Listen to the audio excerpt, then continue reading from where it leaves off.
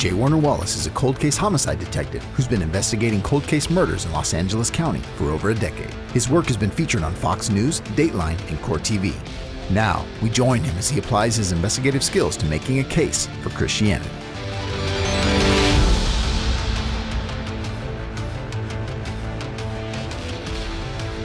Thanks for joining us at Cold Case Christianity. I'm J. Warner Wallace. Today I want to answer the question Was Jesus truly predicted by the prophets of the Old Testament? Some people reject some of the predictions, some of the prophecies they don't think are valid. Well, I'm going to examine those with you in a talk from my upcoming book, Person of Interest. Actually, it's available right now online, everywhere that books are sold. At a conference I did where we're just talking about the fuse of prophecy that leads up to the appearance of Jesus. Enjoy. Look, I've had cases where, you know, a guy commits a crime and it turns out that not everyone was surprised that he did it. As a matter of fact, there are sometimes witnesses who will say, "Yeah, I can see this coming." You know, I've known this this couple for a number of years. I saw the fights developing. I could have predicted this would have happened. Well, you know, it turns out that there's people when it comes to Jesus who had a similar experience. They they could have predicted. They not everyone was surprised that the Messiah appeared when he did. As a matter of fact, both the writers in the Old Testament and the writers in the New Testament have a high regard for prophecy. Let me show you what Isaiah says in the Old Testament. He says, Remember, the former things long past, for I am God. God is speaking now through Isaiah, and there is no other. I am God, and there is no one like me. Declaring the end this is what God does. He declares the end from the beginning and from ancient times things which have not been done, saying, My purpose will be established and I will accomplish all my good pleasure. So the ancients before Jesus knew that God had the ability to predict the beginning from uh, the end, rather, from the beginning. Now, interestingly, the New Testament writers had a very similar high regard for God's ability to do this. As a matter of fact, Peter writes it this way As to this salvation, the prophets who prophesied of the grace that would come to you made careful searches and inquiries seeking to know what person or time the Spirit of Christ within them was indicating as he predicted the sufferings of Christ and the glories to follow. In other words, New Testament authors were aware of the long tradition of prophets who were looking for, predicting, and pointing to the coming Messiah. What we're talking about here, of course, is prophecy. And I know there's lots of pastors, and you've probably read books. Maybe you've got this. Uh, there's people who I would say, "Hey, what do you think the strongest evidence is for Jesus being, you know, God?" They'll say, "Well, it's prophecy. It's fulfilled prophecy." Well, I'm going to tell you, that's I, I can see why somebody would say that, because look at it this way: in the New Testament, the authors of the Gospels they cite Old Testament prophecy almost 60 times. But my question, of course, as a new investigator was why would anyone think this is all that impressive? I'll be honest. As I listened to people tell me that prophecy predicted Jesus, I actually went to those Old Testament prophecies and I was decidedly underwhelmed. As a matter of fact, let me tell you something. I was recently contacted by a, a young man who's been working on the staff of a very well known evangelist here in Southern California had been on this staff for years, you know, uh, setting up interviews, setting up all kinds of. I had appeared on this person's show. Uh, the staffer was a committed Christian, but eventually deconstructed. You've heard that expression from his faith. And he said he did it based on the fact that he no longer believed that the prophecies that were usually cited by New Testament authors were legitimate prophecies to begin with. In other words, he felt like those New Testament authors were twisting somehow the scriptures that allegedly prophesied about the appearance of Jesus and making them fit their own narrative, much the way that sometimes Mormon authors would do, or you know, Joseph Smith would twist prophecy in order to predict something that Joseph did.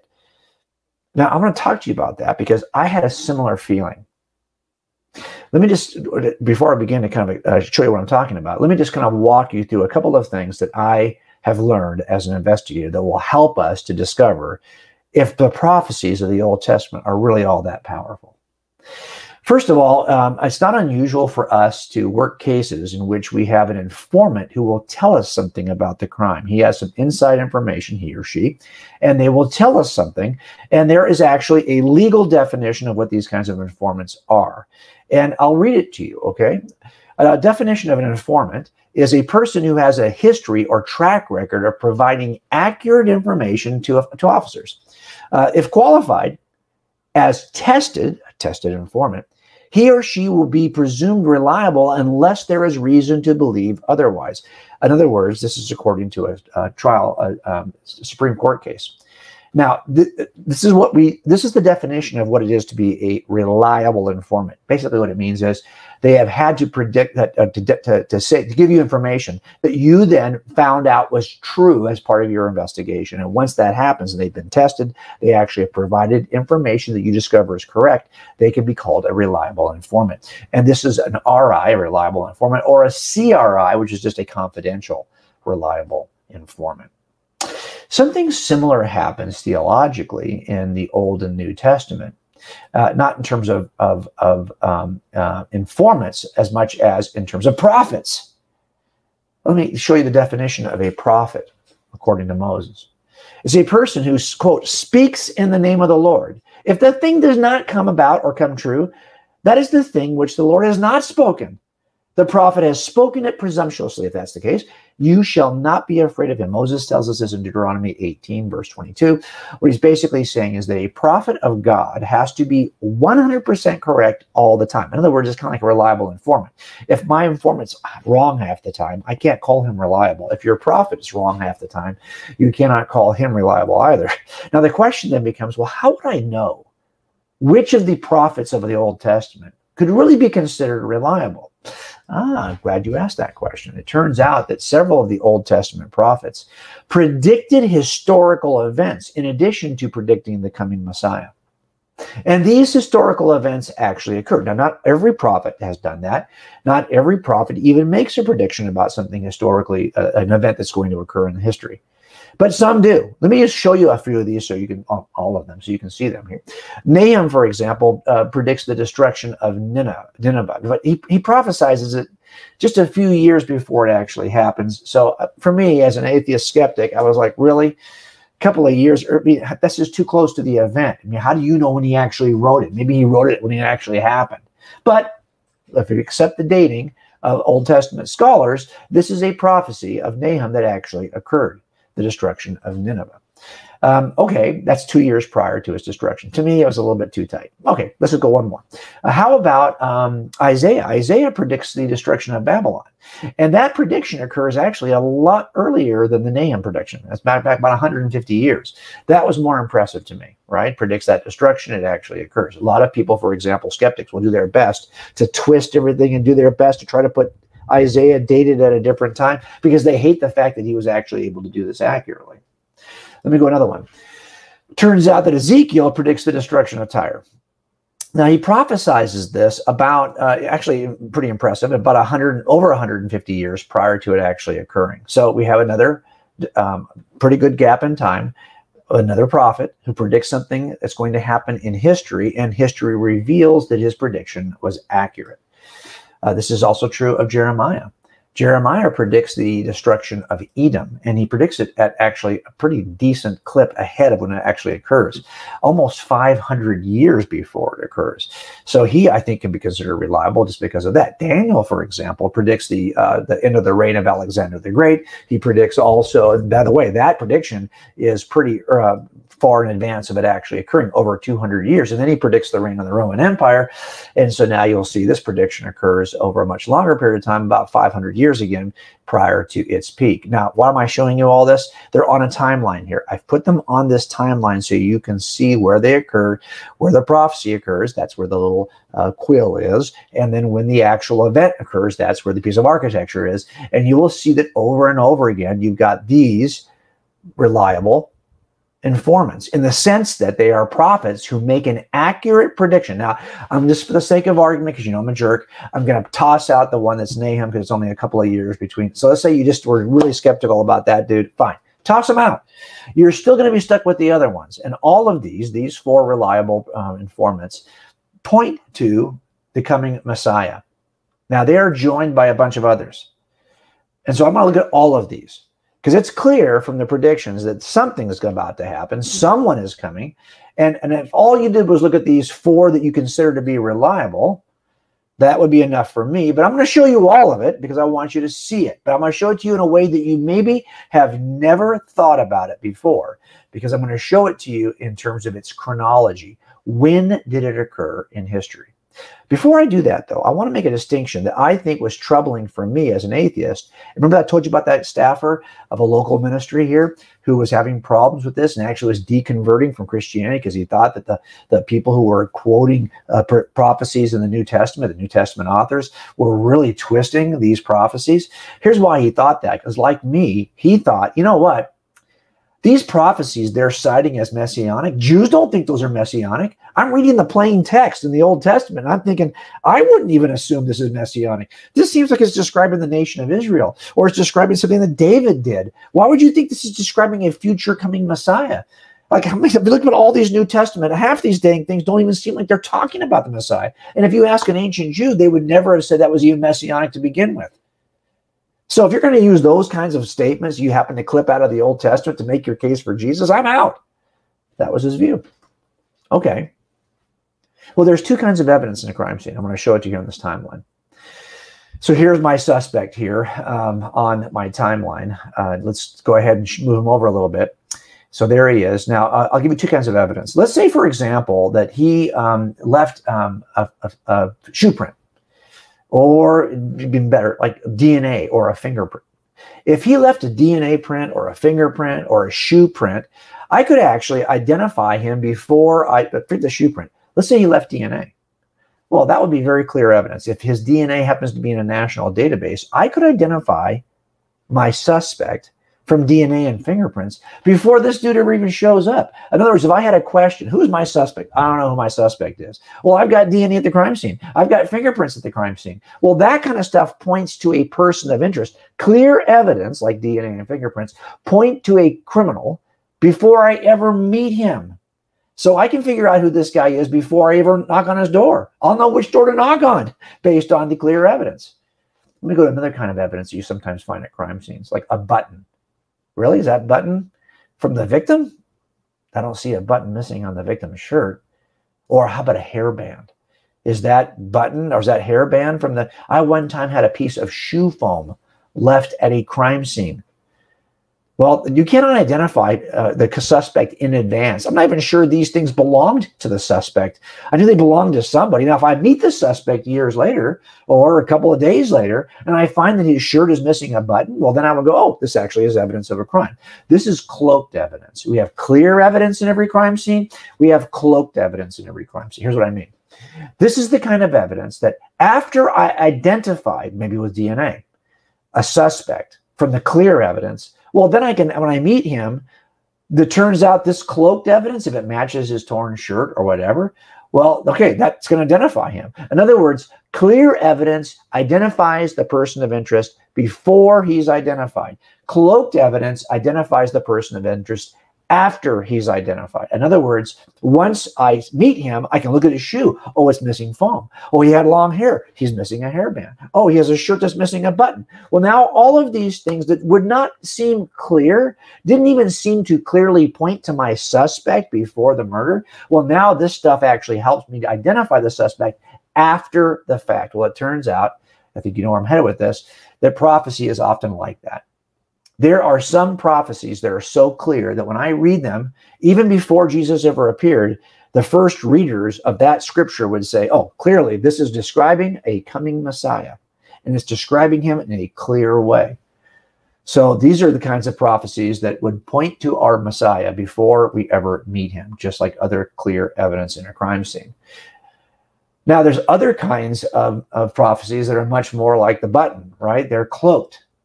Uh, they may or may not be, maybe you wouldn't even see them necessarily as belonging to the suspect. But after you meet the suspect, you'll find out actually, you know what? Those things match the suspect. They identify him after the fact. So, once again, clear evidence points to the suspect beforehand, cloaked evidence confirms the suspect after the fact keep this in mind because this is a huge um, i hope it opens your eyes a little bit because um, what typically i see happening is people who are making a case for jesus from prophecy they lump these two kinds of, of prophecies together and then we're looking at it and thinking this is lame Why should I trust any of your prophecies when half of them seem like they're not that clear? They're all cloaked.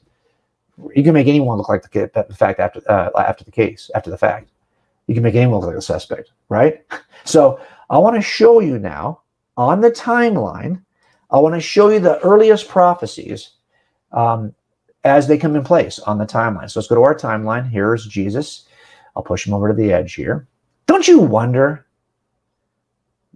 this is the fuse that's burning up to Jesus, the prophetic fuse. Don't you wonder why Jesus appeared when he appeared? Like, why didn't he come earlier? Or why didn't he come later? Don't you wonder about that? Is there something about this prophetic fuse that dictates his arrival and when it'll occur? Yeah, yeah, actually, there is. And so, what we're going to do is use those six investigative terms. Here's five. These five investigative questions will eventually lead us to the most important question Who is the Messiah? So, what we're going to do is ask these five questions to get to the sixth. Now, here we are charting our the first fuse starts to burn. Here are the first prophets who say anything about the coming Messiah. And that's Job, probably one of the most ancient scriptures, and Moses. Now, I'm going to put on the screen for you in white, those are the clear prophecies.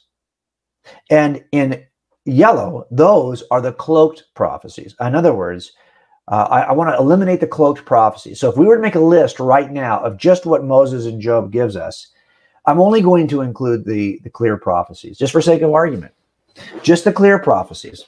I'm with you. If you're skeptical about prophecy and how it's used to make a case for Jesus, I am too. So here we are. This is what you get from the earliest prophecies. And guess what? pretty much every question that you have is still left unanswered. Even the few questions that are addressed are not addressed deeply enough to be able to predict. If Jesus showed up right here in history, nobody would even know he matched any prophecy or matched any expectation of the Messiah because not enough has been uh, prophetically uttered about the Messiah. That might be why Jesus doesn't come that early. Let's go a little further in history. The, the, fuse burns a little further to the next group that starts to speak about Jesus. And most of their utterances, because a lot of them are psalmists, are cloaked. They're all the orange ones, all the yellow ones here. Only the ones in white would I consider to be all that clear. So those are the only ones that I am willing to include on my list. So here I am now updating my list. This is the updated list. I will underline on this list the new stuff but if you look at this, okay, it's a little better, but it really doesn't answer. I mean, I think it's still pretty obscure who it is we should be expecting. If Jesus was to appear at this point in history, I think most of us would be scratching our heads. Anyone would be expecting it would be scratching their head. So let's burn down that fuse a little further. And now we got a bunch more, right, of people who are offering. Uh, and I went back and looked at every, even uh, if you thought it was cloaked, clear, whatever, I put them on my list. So here are the prophecies, it both the ones that are clear are white, the ones that are yellow are, clo- are cloaked. I just want you to see that now some of these questions are starting to become better answered. Not great, but some are better than they were answered before. So there's the new information. Yeah, okay, so maybe you can say, well, he's born in Bethlehem. The where question's kind of been answered now, but the other questions haven't been. These other questions are still on the table let's burn that fuse down a little bit further. So here's that fuse burning down to the next set of prophecies. That's going to be Isaiah. Oh my gosh, Isaiah, let me tell you, uh, pretty much Isaiah says a lot about the coming Messiah. So there's all the stuff he says that I think is pretty clear. And again, you know, in our book, we've got this all in the footnotes. Of course, in a presentation like this, you're going to trust me for this. Uh, here's the stuff that is is cloaked from Isaiah. So if I was going to update the list of information and include Isaiah's information on this list, he actually helps us answer a couple more questions. So now we got a bunch of new information. I'll underline it on this list for you. That's not bad. We're getting closer. Uh, I think if Jesus was to come right at this point in history, I mean, you'd be pretty close but you really wouldn't. I mean, I'm not sure people would even know really the when question is, is big for me. Like, when should I expect him? And that's really not answered here. We still have the why, the when, and the who questions. They're pretty open. So let's burn that fuse down a little further. So now we're going to burn down to the appearance of Ezekiel and Jeremiah and a couple of other psalmists that are writing in this period. And here is the clear prophecy from those prophets, and the cloaked is in the orange and the yellow again. So I will update my list. And again, I know this is a lot of information quickly, but just bear with me. Um, this is what it would look like. And of course, in the book, that's why we write books because books are really the best way to get the most detailed information. But here is, for example, the updated. Now it's it's better, a little bit better. Only a couple of new things really uh, have been added to my list. So to be honest, I still have the same three open questions. Let's go a little further. Now we're going to go to Daniel. Daniel's going to be so helpful, right? Because Daniel's actually going to provide us with um, some clear and cloaked, well, clear evidence, uh, clear prophecy here. And I want to just focus on the bottom half of your screen here. It's it's Daniel that's going to tell us uh, give us a pretty tight range. He says this this this Messiah is going to come between the the um, decree that's going to be issued to rebuild Jerusalem. Now we can kind of get an idea of when that would happen in history from just from history itself, and then uh, he'll appear also though before the temple and is destroyed. Well, I know that happens in 70 AD. So now we're getting a place where if we took this information and updated our list, ah, we're really getting close to knowing when. We've got a range there, when, right? But just to make it clear, I'll put this on the on the screen as well. I'm leaving the when question just kind of like semi-transparent, like there's it's good, I could be a little better, but it's not bad, right? Now we're going to come down to the last prophets.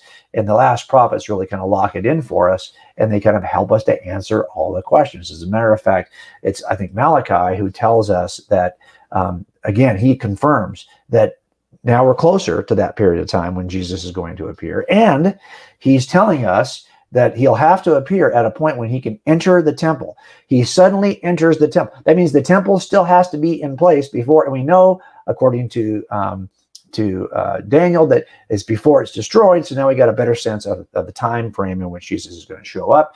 So I'm just going to update my list of characteristics of the Messiah. And now I actually think that every question that you could answer has been pretty satisfactorily answered. And now you kind of see why history is aligning to a point when really the only open question is the who question. And if you've got all the other questions answered, it's much easier to answer the who question. So let's go take a look at our Jesus right now. And remember, we're going to look at two kinds of prophecies clear prophecies, I'll put those on the left, and cloak prophecies, we'll put those on the right. So let's take a look at our clear prophecies. Um, this, not bad. These are clear prophecies that point to Jesus. Now, now I, I think there's enough here to identify Jesus. But if there wasn't, you could always look back in hindsight and ask the question well, what do the cloak prophecies say? And the cloak prophecies really lock it down. But I get it. You might say, I don't like all those cloaked prophets. I don't trust them. Well, yeah, but that's the whole point. You would allow a crime scene investigator to examine evidence that's in a crime scene that's cloaked and actually matches his shirt afterwards. That's still in the game. That makes sense that you would allow that. Why would you not allow that here? Many times the authors in the New Testament are provided, they're talking about the, the clear evidence, but then they're also saying, hey guys, we found a button and the button happens to match the cloak, the, the, the, the, the shirt. So they're showing you cloaked evidence. That's legitimate. It's legitimate in every crime scene. Do not let the fact that some is cloaked and some is clear. This stuff that's cloaked, that button, that that hairband, that piece of shoe foam, that stuff matters. Not only that, it turns out that most there's a lot of this cloaked stuff is actually just a repeat of the stuff that's in the clear evidence. So I'm going to cross that stuff out. This is the stuff that's actually on the clear side. So you could remove it from the cloak side uh, because you don't really need it. So this is really the only stuff on the cloak side that we're including anyway. And I think if you look at all that stuff, you're going to find that Jesus of Nazareth is the best candidate for the who question. And look, if you said, you know, Jim, I'm only willing to consider the reliable informants. Okay, well, it turns out that the reliable informants, if just Isaiah really tells you enough to lock down Jesus. That's a pretty robust description of Jesus just from Isaiah. Okay. And, and if you look at the other uh, four that are there, well, it turns out the other four give you, or the three rather, give you a bunch more stuff that is um, helpful. So if you just, it's like, I'm, I'm only going to look at the clear evidence from the reliable, the four reliables, you would have enough, I think, to make the case that Jesus actually fits it. So let's go back and take a look at our timeline again. So if you look at these are the prophets that are pointing toward a person of interest, and it's clear that there's a person of interest coming. you know, a redeemer, a, a restorer, a messiah, a savior is coming. And they are pointing, but who is the savior? Well, they're pointing to someone, and it turns out there's a reason why this Savior comes when he does. Because as that prophetic fuse is burning down toward the appearance, the end of the BC or the BCE, before the Common Era, and the beginning of the Common Era, these questions are being answered and that sequence until finally the only question left to answer is the who question.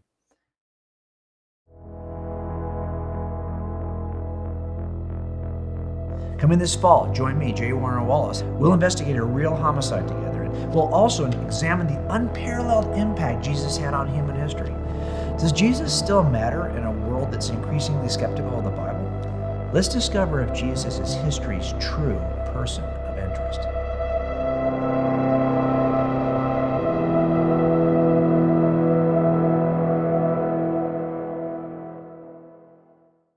You get a sense that censorship is rising? If we simply just reiterate the teaching of Jesus of Nazareth, there's a good chance someone in the culture is going to see that as intolerant. I'm J. Warner Wallace, cold case detective and Christian casemaker. If you're concerned like I am about being deplatformed, about being canceled by a culture that has control over your mechanisms to interact with each other, and that's what it is with social media, then please join us at a private community we are building at coldcasechristianity.com. And I want you to join us if you're interested in being mentored, in being discipled in a way that will help you become a better Christian casemaker. It's a platform where you can know is the Bible true and does it matter? Those two things will change your life. Join us at coldcasechristianity.com. You won't regret it.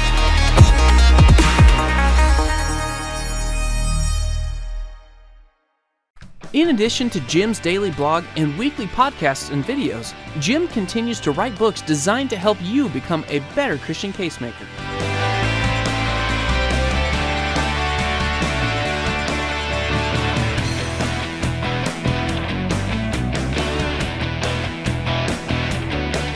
These resources will help you defend what you believe and share it with others.